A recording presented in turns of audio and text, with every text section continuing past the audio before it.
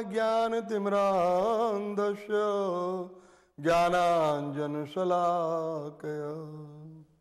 चक्षुर्न्मिलितं येन तस्मै श्रीगुर्वे नमः। तस्मै श्रीगुर्वे नमः। मूकं करोति वाचालं पङ्गुलङ्घयते गिरिं यत्कृपात्तमहं वंदे श्रीगुरुदीनतारणम्। गुरुर्ब्रह्मा, गुरुर्विष्णु, गुरुर्देव महेश्वरा, गुरुर्साक्षात् परम ब्रह्म, तस्मै श्री गुरुवे नमः। जय गोपाल ओम नमो भगवते वासुदेवाय। ओम नमो भगवते वासुदेवाय। ओम नमो भगवते वासुदेवाय। नारायणं नमस्कृत्य। नरं चैव नरोत्तमं देवीं सरस्वतीं व्यासं ततो जयामुदीरयेत्। नष्टप्रायेषु अभद्रेषु नित्यं भागवत सेवया। भगवते उत्तम श्लोके भक्तिर्भवती नष्ट की। ओ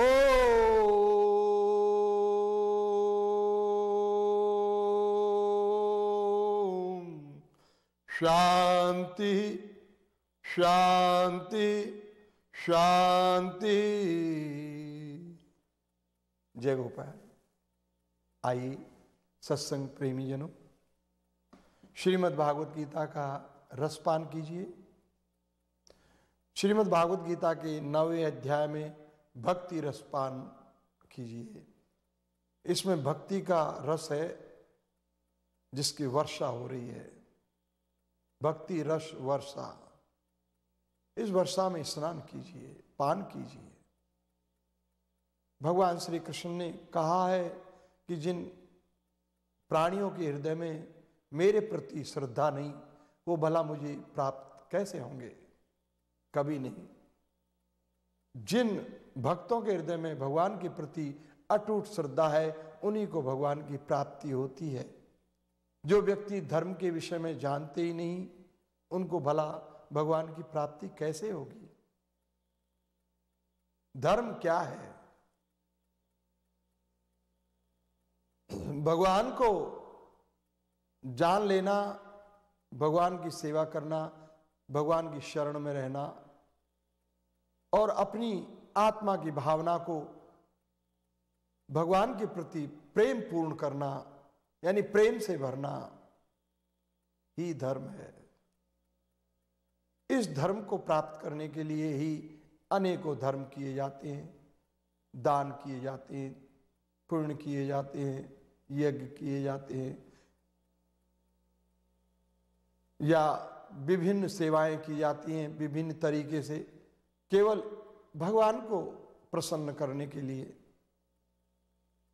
भगवान को जानने के लिए, भगवान की धाम को जाने के लिए, भगवान की ओर जाने के लिए, अपने आप को पहचानने के लिए, जब मनुष्य ब्रह्म स्तर पर पहुँच जाता है, ये धर्म है। धर्म सत्य का नाम है। सत्य को ही धर्म कहा है। धर्मराज। जो सत्य न्याय करता है, उसे धर्मराज कहा है। कहा है। तो ये धर्मराज, धर्म शब्द क्यों दिया है? क्यों सत्य न्याय करता है? जो सच्चाई है, वो धर्म है। तो सच्चाई को, सच्चाई तक पहुँचने के लिए हम कोई सहारा लेते हैं। दान का, पुण्य का, सेवा का इत्यादि, तप का, ज्ञान का, कर्म का। तो ये सहारे लेकर के हम उस धर्म को पहचानना चाहते हैं। तो भगवान कहते हैं, धर्म के विषय में जो व्यक्ति जानते ही नहीं, वो मुझे कैसे प्राप्त करेंगे? जिनके हृदय में श्रद्धा ही नहीं, वो मुझे कैसे प्राप्त करेंगे? उनको तो बार बार ये जन्म, मरण, जरा, व्याधि में ही रहना पड़ेगा। मृत्यु के मुख में बार बार जाना पड़ेगा। सब कुछ छोड़कर। सारी ज़िंदगी कड़ी मेहनत करेंगे। बड़ी बड़ी बिल्डिंगें बनाएँगे। बैंक बैलेंस बनाएँगे। पद प्रतिष्ठा बनाएँगे। सुंदर नारियों के साथ व्यवहार करेंगे। पुत्रों से सेवा लेंगे और फिर ये शरीर बुढ़ापे में जाएगा, बुढ़ापा आएगा, फिर इसके बाद तो मृत्यु ही आएगी। तो मृत्यु के ग्रास बन जाएँगे, सब कुछ छोड़ छाड़ के चले जाएँगे। फिर भूल जाएँगे अगले जन्म में कि पिछले जन्म में हमारा कौन था, हम क्या थे। फिर इस जन्म में फिर एक बच्चा बन करके माँ के गर्भ से आएँगे उआ उआ करेंगे। फिर एक नया जीवन शुरू करेंगे नए एक नए खिलौनों से खेलेंगे। हा हा हु हु करेंगे। जवानी में फिर इधर उधर का दंद फंद करेंगे, एक शादी करेंगे, कुछ बच्चे पैदा करेंगे। उनके पीछे सारा जीवन लगा देंगे और फिर यानी हर प्रकार से अपनी बुद्धि को इस्तेमाल करेंगे संसार में तरक्की करने के लिए। लेकिन धर्म को नहीं पहचानेंगे। धर्म क्या है? मैं कौन हूँ? कहाँ से आया हूँ? क्या मेरे कर्तव्य हैं? किन कर्तव्यों को करके मैं सुखी बन सकता हूँ? ये जानने की कोशिश नहीं करेंगे। वो धर्म को कैसे पहचानेंगे? धर्म को नहीं पहचानेंगे? श्रद्धा जिनके हृदय में नहीं होगी, वो तो मृत्यु के ग्रास बनेंगे। इस प्रकार से भगवान ने कहा फिर इस श्लोक में पांचवा श्लोक नवे अध्याय का है। भगवान कहते हैं कि, नैचे मतस्थानी भूतानी पश्चिमे योगम ऐश्वरम, भूत भृन्न च भूतस्थो ममात्मा भूत भावना।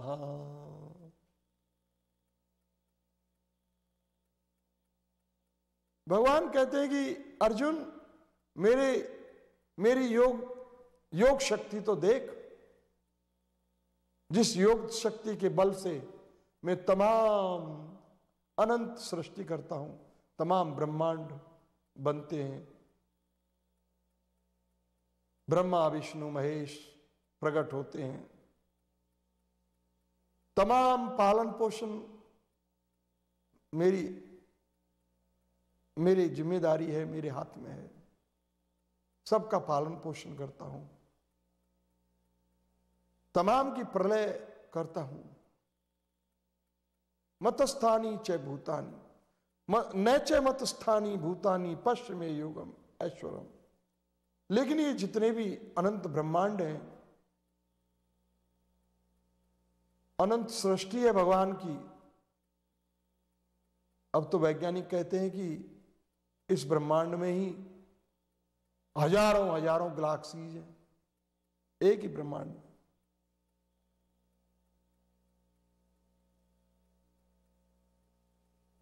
अभी तो ब्रह्मांड का पार नहीं पाया है वैज्ञानिकों ने। जिस ब्रह्मांड में सर्वश्रेष्ठ प्लानेट ब्रह्मा जी का है, वहाँ ब्रह्मा जी की आयु सौ वर्ष की है। वो कितने सूर्य प्रकाश माइल दूर होगा हमसे? इन वैज्ञानिकों को पहुँचना बड़ा मुश्किल है वहाँ पर, उस जानकारी के लिए। 311 ट्रिलियन और 400 बिलियन वर्ष की आयु है ब्रह्मा जी की। उस, उनके 100 वर्ष पूरे होते हैं जब हमारी पृथ्वी के 311 ट्रिलियन और 400 बिलियन वर्ष हमारे पूरे होते हैं। तब ब्रह्मा जी का, ब्रह्मा जी की 100 वर्ष पूरे होते हैं।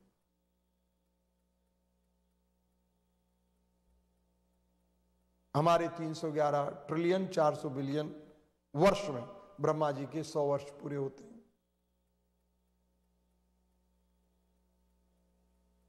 चार अरब और बीस करोड़ वर्ष हमारा जब होता है इस पृथ्वी पर, तब जाके ब्रह्मा जी का एक ही दिन होता है। ये इस ब्रह्मांड की कथा है। ये ब्रह्मांड इतना विस्तार पूर्ण है।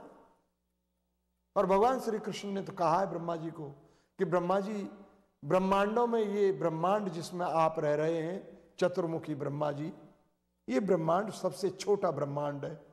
इसलिए मुझे चतुर्मुखी ब्रह्मा की ही आवश्यकता है इस ब्रह्मांड में। लेकिन बहुत से ब्रह्मांड बहुत विस्तार वाले हैं, जिनमें मुझे कहीं सौ मुखी ब्रह्मा चाहिए कहीं हज़ार मुखी ब्रह्मा चाहिए कहीं दस हज़ार मुखी ब्रह्मा चाहिए कहीं एक लाख मुखी ब्रह्मा चाहिए, और किसी किसी ब्रह्मांड में तो मुझे एक करोड़ मुख वाले ब्रह्मा की आवश्यकता होती है। वहाँ पर एक करोड़ मुख वाला ब्रह्मा है। इतनी बड़ी क्रेटर एनर्जी का ट्रांसफार्मर है। यानी ब्रह्मा जी ब्रह्मा जी सृष्टि करता है। क्रेटर एनर्जी अनाइलेटर एनर्जी, संहार करता शिव भगवान है उस, इस ब्रह्मांड की। इतने विशाल ब्रह्मांड को शंकर भगवान नष्ट करते हैं, प्रलय, महाप्रलय के समय। पालन पोषण करने के लिए स्वयं भगवान श्री कृष्ण गर्भोदक क्षीरोदक्षाय विष्णु स्वरूप से ये ब्रह्मांड में विराजमान है।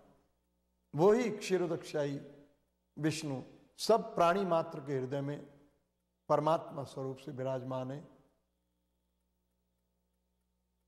आत्मा के भीतर परमात्मा। आत्मा के हृदय में परमात्मा। आत्मा के हृदय में हृदय यानी सेंटर, मध्य।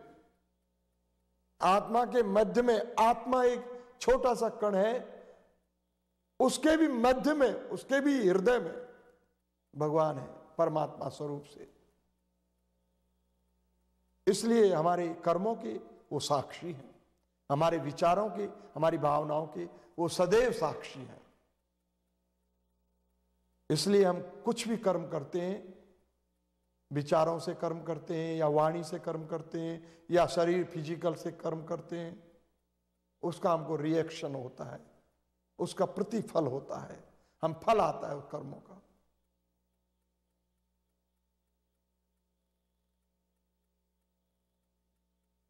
अप्रारब्ध फलम पापम, कुतम बीजम फलोन्मुखम। क्रमेण प्रिलियते विष्णु भक्ति रतात्म नाम जो भगवान विष्णु की, भगवान कृष्ण की, परमेश्वर की भक्ति में जो रत होते हैं, उनके पिछले जन्मों के इकट्ठे संचित पाप और इस जन्म में जो किए हैं, वो सारे पाप क्रमेण प्रलियते, यानी सने सने सब जल जाते, नष्ट हो जाते हैं। भक्ति की ऐसी महिमा है।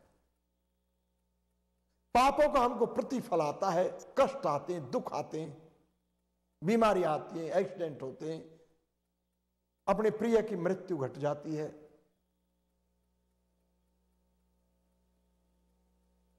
अपना जन्म कुत्ते बिल्लियों में चला जाता है। शाप वसी तो इंद्र को सुअर बन के नीचे आना पड़ा धरती पर। शाप वसी तो चंद्रमा को दाग लगे हैं। ये कर्मों का फल है।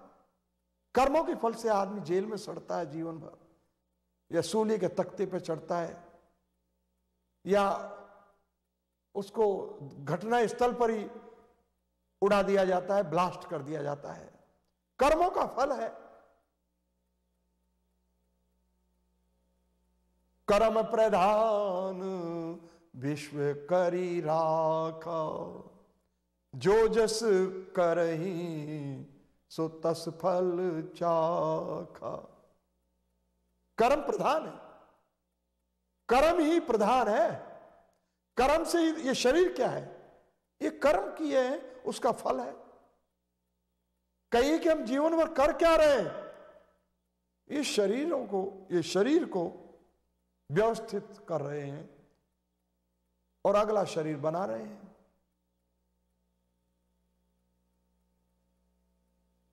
जीवन भर आप जो भी कर रहे हैं, आप अपने अगले शरीर के लिए प्रिपरेशन यानी तैयारियाँ कर रहे हैं, और ये शरीर को सुरक्षित कर रहे हैं। ये शरीर, चाहे आपकी पत्नी हो, बच्चे हो पिता माता हो, रिश्तेदार भाई हो, देशवासी हो, कोई भी हो, शरीरों की, इन शरीरों की सुरक्षा कर रहे हैं, इनको आनंद दे रहे हैं, और अगले शरीर के प्रिपरेशन कर रहे हैं। आपके कर्मों से अगला शरीर तैयार हो रहा है। बीज रूप से, उसी को कारण शरीर बोलते हैं। वही कारण शरीर जो है, स्थूल का कारण है, स्थूल शरीर मिलता है, अगला शरीर मिलता है। कर्म यदि हम भगवान के लिए करेंगे, इसको भक्ति कहते हैं। ये भक्ति आपको ये अशुभों से मुक्त कराती है। ये जन्म, मरण, जरा, व्याधि, ये सब अशुभ है। बीमारी शुभ है, अशुभ है। मृत्यु शुभ है, अशुभ है। तो फिर जन्म कैसे शुभ हो सकता है? हालाँकि जन्मदिन मनाते हैं, लेकिन जन्म भी अशुभ है। जन्म लेके भी क्या करेगा? यदि भगवान की भक्ति नहीं करी तो। जवान होकर भी क्या करेगा? यदि भगवान से प्रेम नहीं बढ़ाया तो।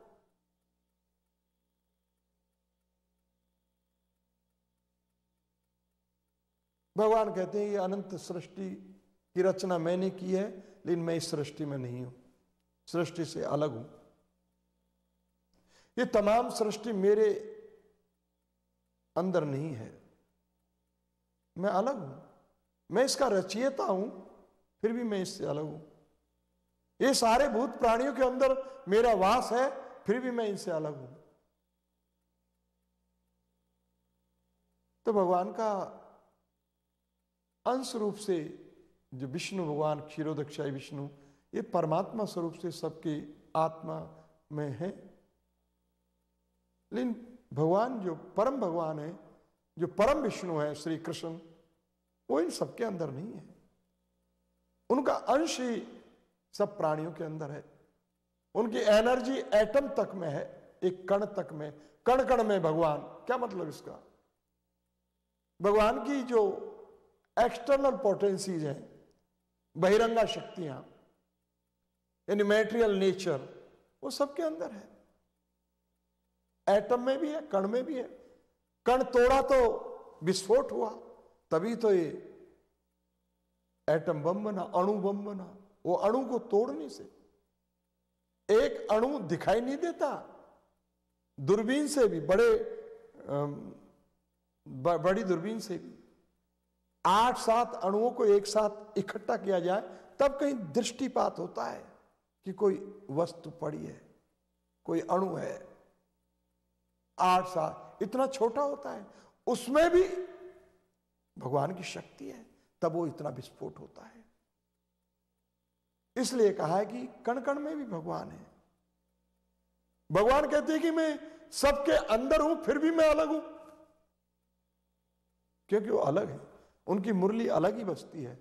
वो परमेश्वर है, गोप वेशधारी भगवान श्री कृष्ण ग्वाले के रूप में उनका परम वेश है। उनकी जो वेशभूषा है, ग्वाले की है। वो अपने परम धाम में भी गोचारण करने जाते हैं। उनका वही आनंद है, अपने भक्त ग्वालों के साथ। उनका वो परम स्वभाव है, परम आनंद है। भगवान कहते हैं कि तमाम सृष्टि को का सृजन मैं करता हूँ, फिर भी मैं इस सृष्टि में नहीं हूँ, इससे अलग हूँ। डेफिनेट अलग है। बैकुंठ जगत के धामों का सृजन भी वो ही करते हैं, लेकिन उनमें भी वो नहीं है, वो वो भी अलग है। अपने धाम से भी वो अलग है। उन्होंने कहा है तद धामम परमम ममा। न तद भाष्यति सूर्यो, न शशांको, न पावका, यद गत्वा ना निवर्तनते तद धाम परम वो मेरा धाम है, उसके अंदर मैं थोड़ी हूँ। आप इस पृथ्वी पर हो लेकिन पृथ्वी के अंदर थोड़ी हो। पृथ्वी पृथ्वी से अलग हो। ऐसे ही भगवान कह रहे हैं कि मैं ये परम धाम में रहता हूँ, लेकिन मैं परम धाम के अंदर नहीं हूँ, मैं इससे अलग हूँ। वो अनादि है। अनादिरादिर गोविंद सर्व कारण कारणम। अद्वैतम, अच्युतम, अनादिम, अनंत रूपम।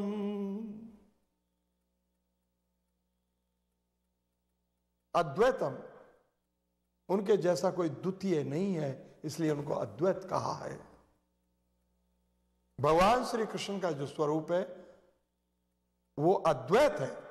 उनके जैसा स्वरूप, उनके जैसे गुण धर्म हो सकते हैं बेशक दूसरों में गुण धर्म लेकिन उनका जैसा, उनके जैसे सारी कला, पूर्ण योग्यता और योग शक्तियाँ किसी के पास नहीं है। इसलिए उनको अद्वैत कहा है। वो आदि पुरुष है। Beginning of all is alpha and omega अनादिर आदिर गोविंद। सबसे प्रथम वो थे और सबके अंत में भी वही होंगे। इसलिए उनको अल्फ़ा और ओमेगा अनादिर आदिर गोविंद कहा है। अद्वैतम, अच्युतम, जो कभी अपनी स्थान से च्युत नहीं होते, गिरते नहीं, उनको अच्युत कहा है। अद्वैतम, अच्युतम, अनादिम, जिनका आदि नहीं है, अंत भी नहीं है। अनंत रूपम जैसे अनंत ब्रह्मांड है, अंत ही नहीं, ऐसे उनका रूप का अंत नहीं। अचिंत्य है। अनंत रूपम जिसके रूप का वर्णन नहीं किया जा सकता, वाणी से, मन से, बुद्धि से, अचिंत्य रूपम।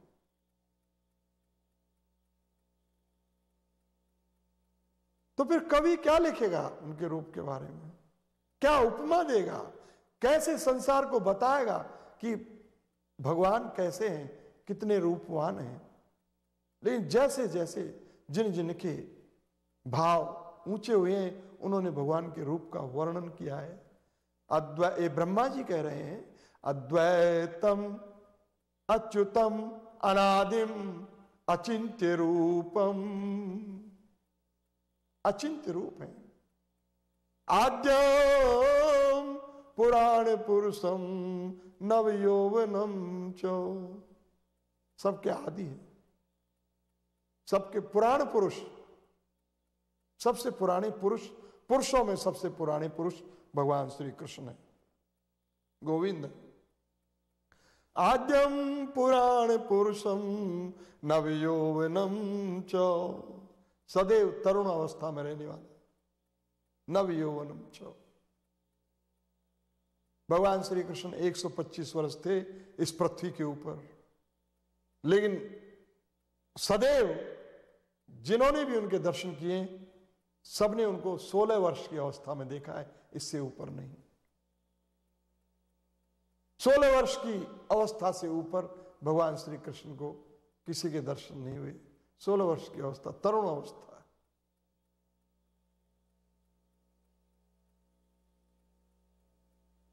उनके धाम में जो शुद्ध भक्त प्रवेश करते हैं, उनको भी तरुण अवस्था का शरीर मिलता है इटर्नल शरीर, आध्यात्मिक शरीर मैटेरियल बॉडी नहीं स्पिरिचुअल बॉडी प्राप्त होती है उनके भक्तों को। फिर भगवान का श्री विग्रह यानी शरीर कितना स्पिरिचुअल है इटर्नल है। हमने अभी तक भौतिक शरीरों की बात सुनी है, लेकिन स्पिरिचुअल शरीर, आध्यात्मिक शरीर की बात कभी सुनने को नहीं आती है। सुन नहीं पाते हैं, बिना सत्संग।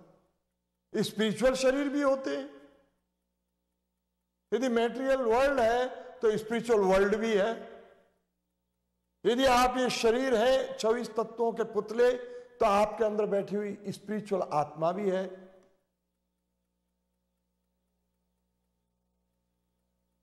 और आप का एक पिता भी है, जिसके आप अंश हैं, वो अंशी भी है, वो भगवान श्री कृष्ण है। आद्यम पुराण पुरुषम नव यौवनम च, वो नव यौवन है, सदैव तरुण अवस्था में रहने वाले। याद कीजिए आपकी तरुण अवस्था को, जब चौदह वर्ष के थे, सोलह वर्ष के थे, बारह वर्ष के थे, ये तरुण अवस्था है। कितना आनंद था उस अवस्था में। हर चीज़ का आनंद था, हर चीज़ में स्वाद था। आनंद से खेलते थे, कूदते थे, फुदकते थे। उसके बाद तो फिर निरानंद की अवस्था शुरू हो जाती है। निरानंद की छाया पड़ने लग जाती है व्यक्ति के ऊपर। आनंद रहता है। लेकिन वो भौतिक शरीर में इतना आनंद रहता है तो वो स्पिरिचुअल शरीर में कितना आनंद रहता होगा? उस तरुण अवस्था में। भगवान और भगवान के धाम में जो भी उनके परम शुद्ध भक्त प्रवेश करते हैं, उनको भी तरुण शरीर की प्राप्ति होती है स्पिरिचुअल शरीर की प्राप्ति होती है, आध्यात्मिक शरीर की प्राप्ति होती है। ये ये परम सिद्धि है। ये परम पद है। भगवान के धाम में चले जाना, भगवान का हो जाना, इससे ऊपर कुछ नहीं है। ये परम आनंद की जगह है। इससे ऊपर कोई आनंद नहीं है। तो इस आनंद को प्राप्त किया जा सकता है थोड़े से प्रयत्न से, भक्ति से। तो भक्ति की ओर आदमी क्यों नहीं झुकता? कारण क्या है? क्योंकि इसके साथ में जो मन है सष्टानी इंद्रियाणी प्रकृति स्थानी कर्षति, जो ये छठी इंद्रिय मन है, ये इसको प्रकृति की तरफ़, यानी भोगों की तरफ़ बार बार खींचता है इस आत्मा को। कि भोग करो, दारू पियो। जो तुमसे किया जाया करो सिगरेट पियो, गांजा पियो, चरस पियो हेरोइन पियो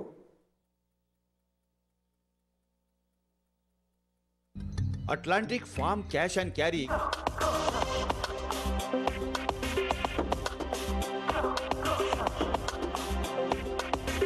Grand opening Atlantic Farm Cash and Carry 114-15 Atlantic Avenue Richmond Hill New York तेरे किसी भी जानकारी ली लिखे नंबर आते कॉल करो। Atlantic Farm Cash and Carry Richmond Hill